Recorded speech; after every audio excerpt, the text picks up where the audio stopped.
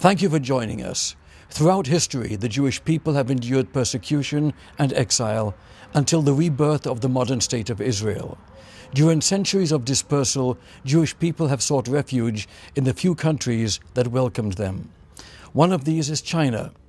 To tell us more about this important part of history are Professor Xu Xin of the School of Foreign Studies and Director of the Center for Judaic Studies at Nanjing University in China. And joining us also is Dr. Abram Fischler, President Emeritus of Nova Southeastern University, who will speak with us and the professor following these messages. Healthcare costs are bankrupting America. The cause is federal overregulation. Unless a free market is restored, no one, including government, business, or individuals, will be able to afford the high cost of health care. My new book, Pharmocracy, exposes the corruption that causes needless suffering and death while our nation sinks into financial ruin. The solutions in this book can save Medicare and improve the lives of aging Americans. Pharmocracy provides an irrefutable basis to stop the suffocating impact of healthcare regulation. The benefit will be better medical technology at far lower prices. Fight back against corruption. Pharmocracy shows how we can tear down bureaucratic barriers that push healthcare costs beyond the reach of the American people. We can do it. This essential book is only $24, and you'll also receive a free subscription to Life Extension Magazine. Get your book today.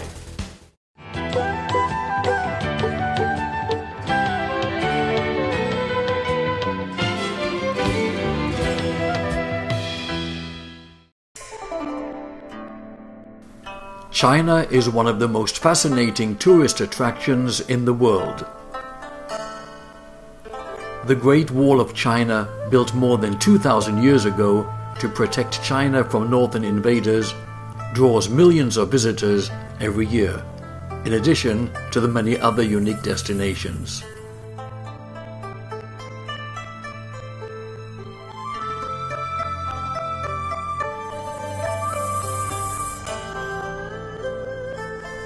These include the cities of Kaifeng, Harbin, and Shanghai, where Jewish communities thrived for over seven centuries. China offered a safe haven for many thousands of Jewish people who fled from the persecution in Russia in the beginning of the 20th century and from Nazi Germany. More than 30,000 Jewish people moved to Shanghai and thereby survived World War II. Most of them left after the war, but many still remain in China.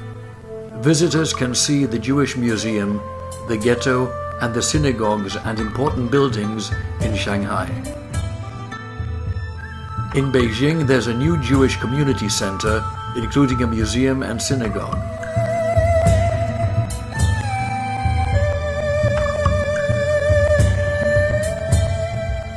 China is not only an endlessly captivating land with a continuous civilization of 5,000 years, along with modern day extraordinary achievements, but China shares an important part in Jewish history as well.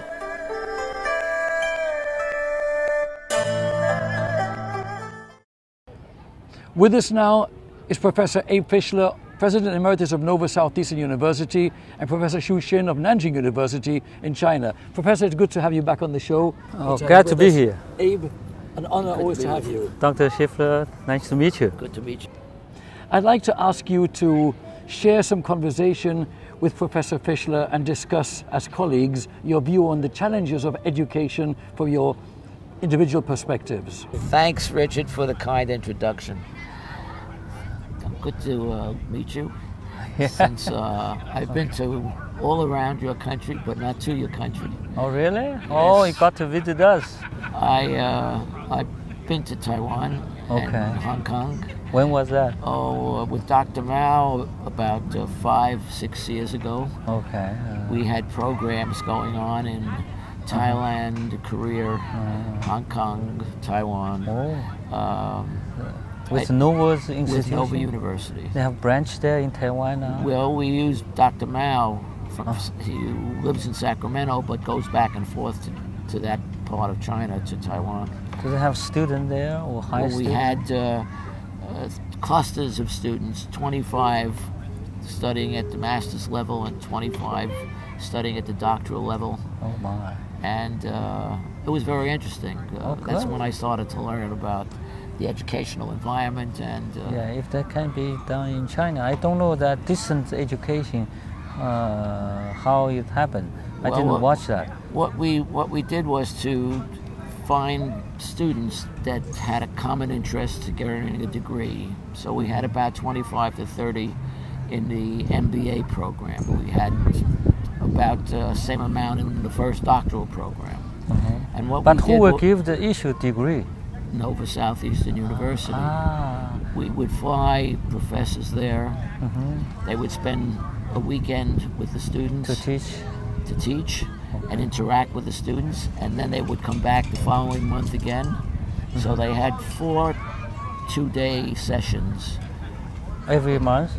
No, one two day session every month. One session. Uh-huh. In between time, that's when they did their reading. Okay. And they had a cluster coordinator there full time Mm-hmm. uh, who had been degreed with us, so he knew the process. Okay. okay. And um, then every summer we had a summer institute where they came together in this country along with the other students from, from this country Oh, really? for a week, for eight days. Uh-huh. And that's how we provided educational opportunity. How long will it take three years, finish? it would take three years for them. Uh, many of them took a fourth year to finish their dissertation. Dissertation. But it wasn't a dissertation that was theoretical. They had to use their schools as a laboratory. I see. So they learned the first year they took a small project and they did it in their school to bring about change. The next year they worked with a colleague or two or three to do one that was a little larger, uh, but also sometimes more of the community kind of change rather than just one institution. And then the third year they had to work on their own. Okay, okay. Uh, but they also but if they come to United States, how will they come as a student they or would as a come as a student for the summer, Okay, I see. and uh, most of them stayed for a week or two extra. I see. and okay. visited the schools and visited Wonderful, with people and so it was a it was a way for them to form a cluster we called it a cluster a group of students Okay, working in the same area Uh-huh. but not not necessarily in the same institutions I see. Okay. so we had principals from schools Mm-hmm. um, and uh, but within the within the country they were all Koreans or from Thailand Abe, this is very interesting, and I'd like to ask you, Professor, to please tell Abe about your Judaic Studies program in China. When China decided to have open door policy and reform and make it possible for Chinese academia to resume what we call Occidental studies. And Jewish study become part of Occidental studies, being reintroduced to Chinese universities, how everything started. And also one of the reasons was many Chinese were sent abroad the beginning of 80s and when they returned they brought back many information because quite few of them had contact with Jews or their professors were Jews. Uh, for me was a special event. I lived with the Jewish family when I was in this country. I was deeply touched and um, actually I'm not the only exception. There were other people though they did not uh, spend that long time live with Jewish family but one way or another, they had contact with Jewish professors, Jewish people in this country. They believe it is very important if we want to uh, learn from West to understand West culture. We have to understand uh, Jewish culture as it is considered one of the two basic pillars which supported Western civilization 2,000 years ago. That's, Uh, how that's- everything that's was true. studied in such a way. That's true. So, of course, uh, that's the old that's the Old Testament yeah, yeah, yeah. And also, China uh, realized the Jews played an important role, like many people won Nobel Prize for Literature every year or for uh, Nobel Prize. And uh, they believe there's lots we can learn, and to, in order to understand the West, we have to understand Jews. That's how uh, Jewish study pick up in China in the late 80s. Of course, in 90s, uh, it does very well because China established diplomatic relations with Israel in 1992, which gives a booming to that study because Chinese realize if we want to do a lot of things, first have to understand them. Jew, Jews are interesting people because they always live in a way that enables them to move quickly if exactly, they had to. Exactly. So they didn't invest heavily within the country, so they had to invest heavily within their own intellect. Yeah, and also to adopt uh, the changing world very well. And Yes. Chinese was moving, start moving outside, like uh, go to live in many other countries, and for one reason or another, they are also very much interested in how Jewish diaspora affect Jewish people and Chinese diaspora affect Chinese who live outside of China. Well, China, We- China, China is.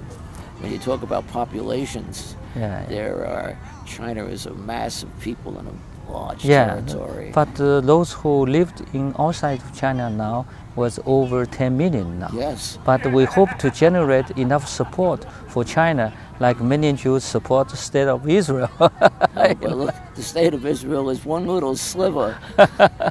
but they get more support than all Chinese. Uh, That's because we don't have ver- very many to worry about. There's only six million there. yeah, yeah, You got a billion. yeah, yeah, yeah. But that's a lesson we can be learned. So Chinese are very much interested. One of the things, you know, uh, I introduce a Jewish program at the university. Really, you know, lots of students are interested. They ask a lot of questions that uh, any courses you offered all filled up, and the more the, the students want to attend it, the number much larger than we can uh, uh, afford. Oh, so that uh, uh, we are doing various programs. Now many students apply for Jewish program, for MA, PhD uh, degree program, you know, much larger numbers. We couldn't take every year. We could take a few only. Well, that's good. Yeah, that's, That's uh, good. and also in China, over 10 universities, colleges uh, had a Center for Jewish Studies since we have. We were the first one in 1992, and now in the last 10 years, we've been there for 20 years. You know, if you think about it, there's only 13 million Jews in, in the world. I mean, That's amazing, but Chinese do not believe there was only such small number of Jews around the world. small, well, we lost uh, six Yeah, million in, sure. in the Holocaust, so Mm-hmm, uh, that was a group that never reproduced. So it's uh, it's only a small group, but uh, we tend to clan together and help one another if we can. Mm-hmm. But uh, but also achievements made by Jews either in science field, intellectuals, or in economic field, or even uh, in the military, because the Chinese heard about Israel won all these wars, never uh, lost one. You know, that's amazing. How come a small country, you know, Arab country with 22 countries, such a large population, and uh, couldn't win a war? we started. If you look at the pillars of Judaism, Well, Professor, another reason for Israel's victories is Israel cannot afford to lose a war. Anyway, let's hope for peace on earth and continued, no wars. And continued cooperation between peoples. Gentlemen, it's a pleasure and honor to have you on the show again. Oh, we have to conclude My this pleasure. interview. Thank you, Richard. And good to meet Uh, you yes, in uh. Professor Schiffner. Right. Very nice to meet you. I'll be right back.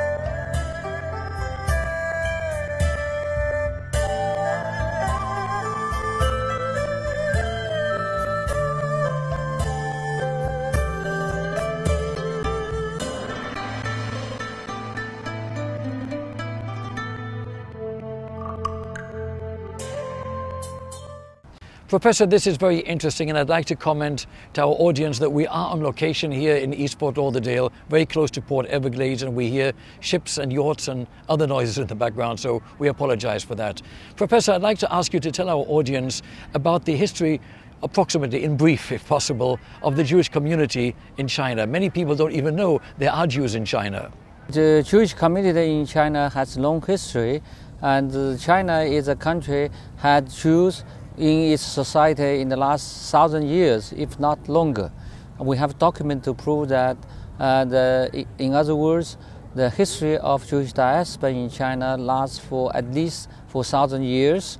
To talk about it, we can divide it into two periods. One is those Jews who came to China before 19, uh, uh, 1840, meaning before modern China, and then there were Jews who came to China since modern time. And then, uh, among those Jews who came to China before modern time, and Kaifeng Jews become representative.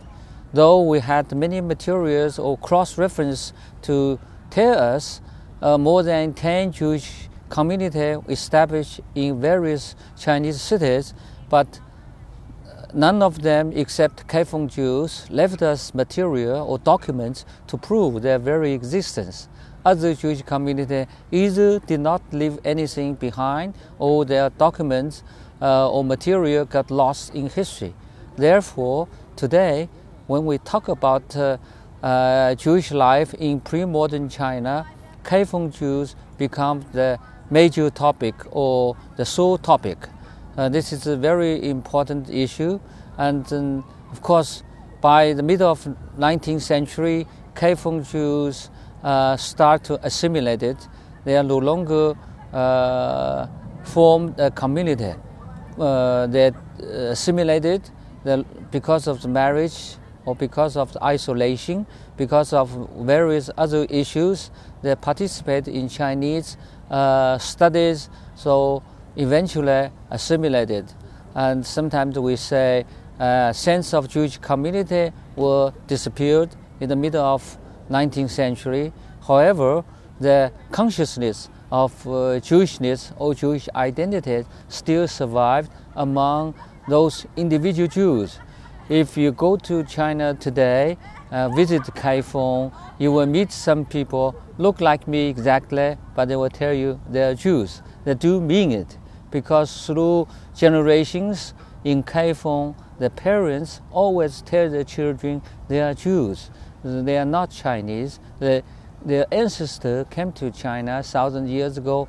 Because of this, the Jewish identity was survived, and even today, especially after China and Israel established diplomatic relations, many Jewish descendants in the city want to make Aliyah today with a lot of help uh, uh, from outside and uh, more than 10 Jewish young people immigrant to Israel. Now they have been converted by uh, Orthodox Jews. In other words, they are authentic Jews now. In the future, if those people or some of those people return to Kaifeng, they were Jews, and then hopefully one day they will revive a Jewish community in Kaifeng. Professor, tell our audience about the Judaic studies taking place at Nanjing University under your direction. Now, Jewish studies in China really developed fast. Uh, this year, we're going to celebrate 20th anniversary of the establishment of Institute of Jewish Study in Chinese education system. It is one of the kinds we established 20 years ago we did very well. We had very various kind of activities, and um, we do both teaching and um, research. Our teaching program goes very well. For instance, we have every year we have uh, students uh, doing MA, PhD degree, and 18 to 20, and many of our graduates now, looking back, already uh, got their degree teach at different universities. I'm proud to say we have 11 PhD graduates who are working at nine different universities in China teaching Jewish history or Judaism or Jewish culture. And also, we organize uh, uh, various uh, conferences and then summer schools in order to provide better opportunities for Chinese, especially for Chinese college students or uh, degree students or graduate students, I mean. And um, also, we have published a lot of books. We edited like series of Jewish culture of Nanjing University, and uh, seven books has already been published. We are aiming at uh, publishing probably 20 volumes and as a, a series. And also, we offer teaching courses for our undergraduate students and graduate students. For instance, we teach the introduction to Bible. We have a young faculty who were trained or got a PhD degree from Chinese University of Hong Kong, majoring in Hebrew, Jew, Hebrew Bible studies. I understand one of the great centers of Jewish life in China was in the city of Harbin. Tell us about it. At the end of 19th century, beginning of 20th century, because pogroms and wars, revolution in Russia, many Ashkenazi Jews also uh, fled to China through Siberia. Uh, in the city in Harbin, in, which is in northeast China, become the hub of Jewish refugees from Russia or Eastern European countries. By 1920, uh, Harbin had a Jewish population over 15,000, which makes Harbin had the largest Jewish community in Far East. And they are very active. Even today, if you go to Harbin, you will see many buildings built by them or owned by them.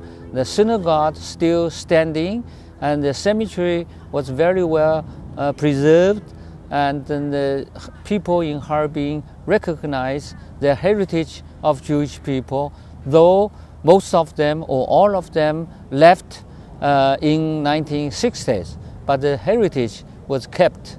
Uh, they talk about Jewish Harbin and then the association between Chinese and those Jews who used to live in Harbin and left, went to Israel, uh, Australia, or even America.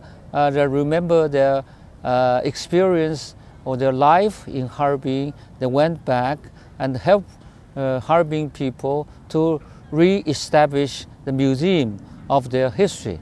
So that uh, city becomes very uh, Jewish in a way. Of course, the most important city in modern China is Shanghai, which holds Jews for 100 years. From middle of 18th, 19th century to middle of 20th century, we had over uh, 25,000 Jews who lived there, especially uh, those Jewish refugees during Second World War from Central Europe, Germany, Austria, came to Shanghai to find a place to stay. At that time, Jews couldn't go anywhere, nor any other countries except Jews. Uh, after Évian Conference, Shanghai becomes the uh, only one international city who allows Jews to go there. Because of this, uh, more than 20,000 Jewish refugees who desperately wanted to leave Germany, Austria, end up in Shanghai. Very interesting. Tell us a little bit about Jewish life in China during the modern era. At the beginning of 20th century, Ashkenazi Jews uh, who came from Russia or Eastern European countries established their community first in Harbin, then in Tianjin, then in Shanghai. And during wartime, we had uh, German Jewish refugees who came to China and lived there, survived the war. Richard, today in China, Jewish life still continuing, especially after China adopted its open door policy and economic reform, we have Jews living in Chinese society since then. Today, we have roughly about 10,000 Jews living in various cities such as Beijing, Tianjin, uh, uh Shanghai, Hong Kong, Yiwu, Guangzhou, and many other cities. Professor, this has been really wonderful and very informative. Thank you so very much for being with us again, sir. It's my great pleasure, Richard. Thank you, sir. I'll be right back.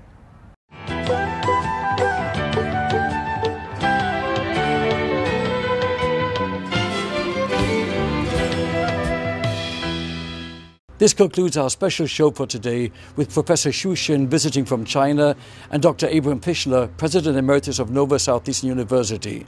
I'm Richard Peritz. Thank you for being with us.